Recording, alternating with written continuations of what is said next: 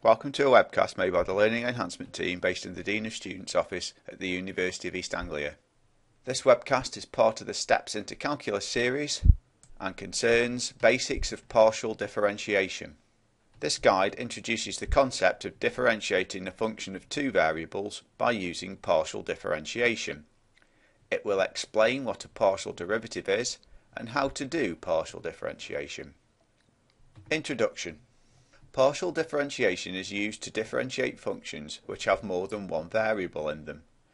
It is more general than differentiating functions of one variable, which is known as ordinary differentiation and is introduced in the study guide, What is differentiation?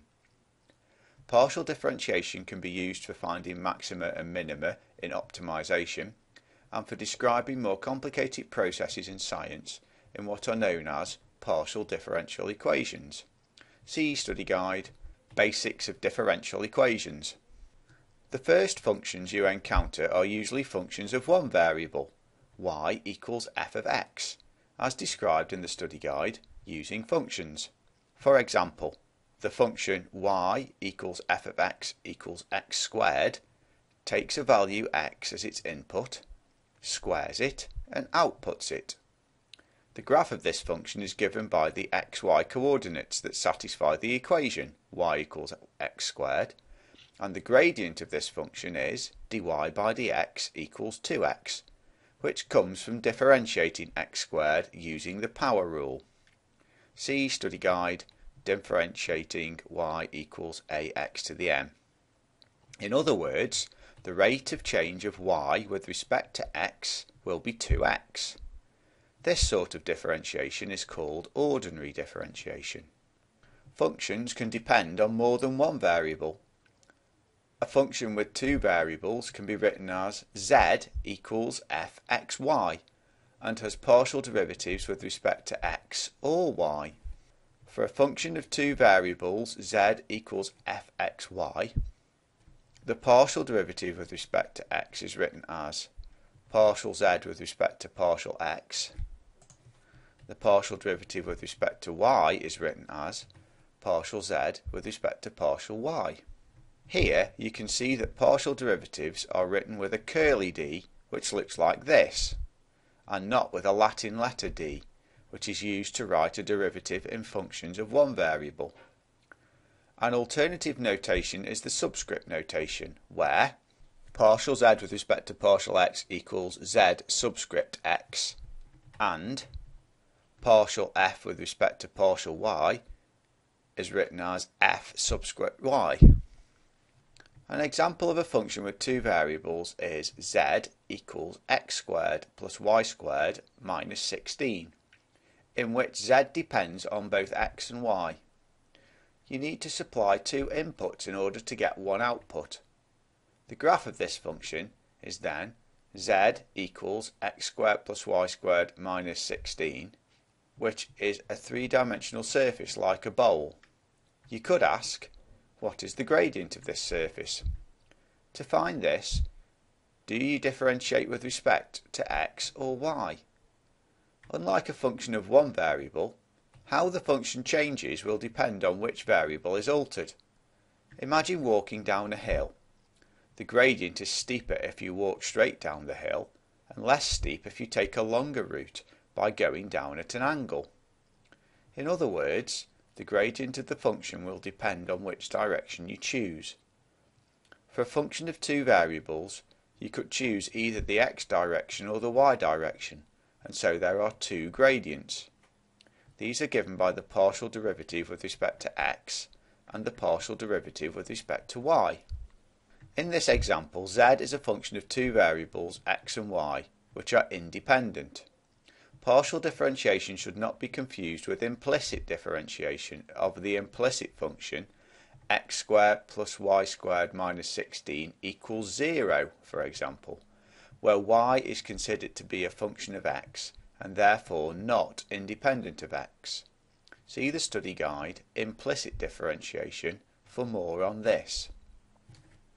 Partial differentiation can be applied to functions of more than two variables, but for simplicity the rest of this study guide deals with functions of two variables, x and y. How to do partial differentiation. Partial differentiation builds on the concepts of ordinary differentiation, and so you should be familiar with the methods introduced in the Steps into Calculus series before you proceed. In fact, for a function of one variable, the partial derivative is the same as the ordinary derivative. Example, find the partial derivatives of z equals 3x squared. The function is really only a function of x, and so partial z with respect to partial x equals 6x, which is the same as the ordinary derivative, since dz by dx equals 6x2. The function does not depend on y, and so it does not change as y changes, and so dz by dy equals 0. In general, however, for a function z equals fxy, partial z by partial x is found by keeping y constant and differentiating as usual with respect to x. Partial z with respect to partial y is found by keeping x constant and differentiating as usual with respect to y. To help with partial differentiation, it is very helpful to remember a rule from ordinary differentiation which are discussed in the study guide differentiating y equals x to the n. If y equals a fx plus b, where a and b are constants, then dy by dx equals a multiplied by f dash of x. So that constants, such as b, when added to functions, differentiate to zero, but constants multiplying functions, such as a, are retained and so still multiply the derivative. If you are partially differentiating with respect to x, for example, then the variable y is kept constant and so must be treated as a or b in the rules above. Also, since it is being treated as a constant, functions of y, such as y squared, 8y, or sine y, are also treated as constants and so act as if they were a or b in the rule above. Example, find the first partial derivatives of z equals x squared minus 6x plus y squared minus 4y plus 14. To find the partial derivative with respect to x, you can split this into three parts. x squared minus 6x is a function of x only, and so partially differentiates to 2x minus 6. y squared minus 4y is a function of y only, and so is treated as a constant, and so differentiates to 0. 14 is a constant, and so differentiates to 0. And so, partial z with respect to partial x equals 2x minus 6. To find the partial derivative with respect to y, you can split this into three parts. x squared minus 6x is a function of x only, and so is treated as a constant and so differentiates to 0. y squared minus 4y is a function of y only and so partially differentiates to 2y minus 4. 14 is a constant and so differentiates to 0. And so partial z with respect to partial y equals 2y minus 4. Example, find the first partial derivatives of z equals x squared multiplied by y cubed. To find partial z by partial x, you must treat y as a constant. Then it is the same as ordinary differentiation of the function ax squared, except that the constant a is actually y cubed, and so partial z by partial x equals 2x multiplied by y cubed. To find dz by dy, you must treat x as a constant. Then it is the same as ordinary differentiation of a function such as a y cubed, except that the constant a is actually x squared. And so, partial z by partial y equals 3x squared multiplied by y squared. Gradients. The graph of the function from the last but one example z equals x squared minus 6x plus y squared minus 4y plus 14 is a parabolic surface, a bowl, as shown below. As you have seen in the previous section, a partial derivative is obtained by holding one of the variables constant. If x is held constant, say x equals 5 for example, as shown in the graph above, then the function is a quadratic function in y only. z equals 5 squared minus 6 multiplied by 5 plus y squared minus 4y plus 14 which equals y squared minus 4y plus 9 which is a quadratic function. So its graph is a 2D parabola. The graph on the left shows the cross section of the parabolic surface taken at x equals 5. Where it intersects the surface is the 2D parabola. The gradient of this parabola is given by partial z with respect to partial y equals 2y minus 4, which was calculated in the example from before. If y is held constant, then the function would become a quadratic in x, with a gradient partial z with respect to partial x equals 2x minus 6, as calculated in the second example in this guide. Higher derivatives.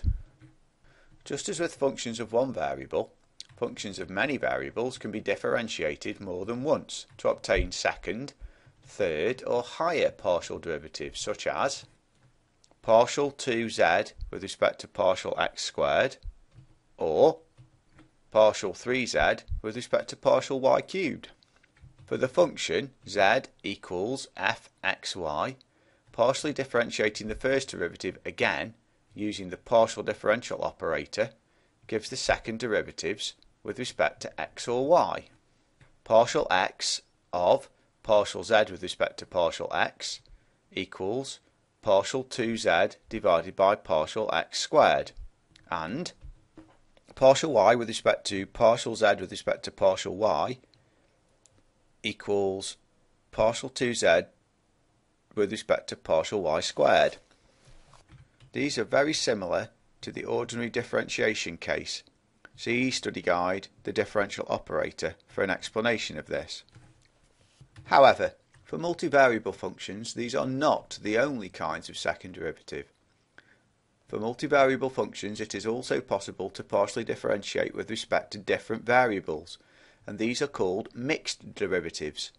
So the function z equals f of xy may be partially differentiated with respect to x and then y, or with respect to y and then x. The partial derivative with respect to y of the partial derivative with respect to z with respect to x equals partial 2z with respect to partial y partial x and partial derivative with respect to x of the partial derivative of z with respect to y equals partial 2z with respect to partial x partial y. Using the subscript notation, the four second order partial derivatives of z can be written as z subscript xx, z subscript yy, z subscript xy, and z subscript yx. Example. Find all the second order partial derivatives of the function z equals 5x cubed multiplied by y squared.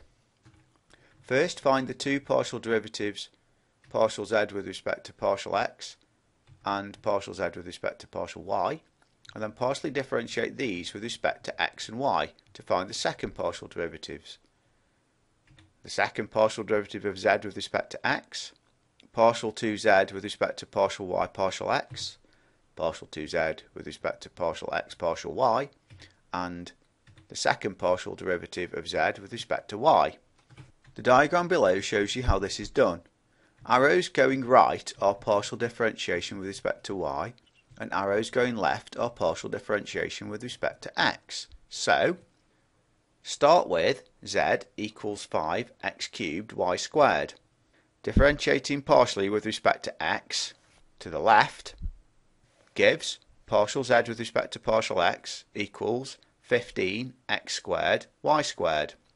Differentiating with respect to y to the right gives partial z with respect to partial y equals 10 x cubed y.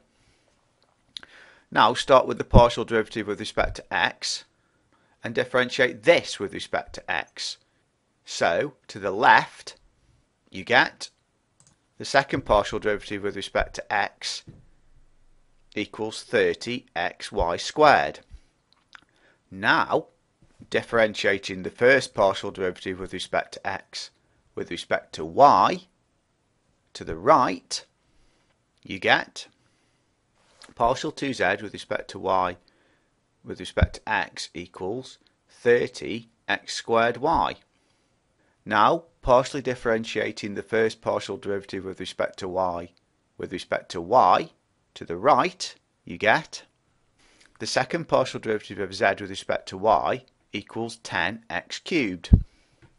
Now, differentiating the first partial derivative with respect to y with respect to x, you get partial 2z with respect to partial x partial y equals 30x squared y. You can see that the two mixed derivatives are equal. In fact, under certain conditions, this will always be true. This is known as Schwarz's or Young's theorem, which states that it does not matter what order partial differentiation is done. Further guidance and information. If you have any further questions about this topic or would like to discuss any other aspects of mathematics, you can talk to your lecturer or personal advisor or make an appointment to see a learning enhancement tutor in the Dean of Students office. Telephone 01603 592761 Email dos.help at uea.ac.uk or you can visit our website www.uea.ac.uk forward slash DOS forward slash LET.